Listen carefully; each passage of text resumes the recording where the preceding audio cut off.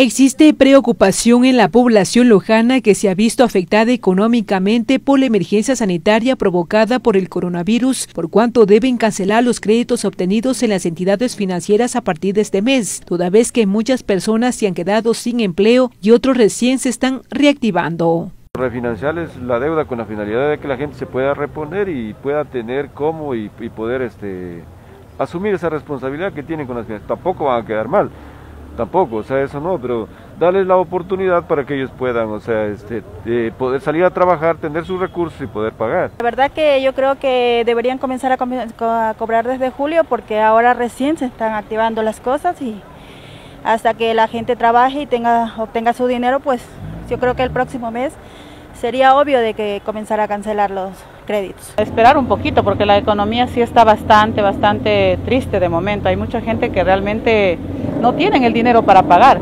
Entonces yo creo que sí deberían considerar la manera de esperarles un poquito, esperarnos un poquito, sería todos, ¿no? En realidad. Eh, porque que crezca un poquito más, que empiece a fluir un poquito más de dinero, ¿no? Estamos golpeados toda la, la sociedad o la ciudadanía y creo que lo más, lo más conveniente sería que, que se pueda entender que eh, frente a esta afección necesitamos renovar acuerdos. Pienso de que era de que nos den unos tres mesecitos más para poder respirar, para poder trabajar, porque estamos ahogados. Nosotros los que trabajan en empresas no nos han pagado. Nosotros los que no tenemos trabajo, vivimos del diario, no tenemos no, no podemos subsistir y mucho menos para pagar deudas. Con cámaras de Patricio Villano para Sur Noticias, Paulina Pucha.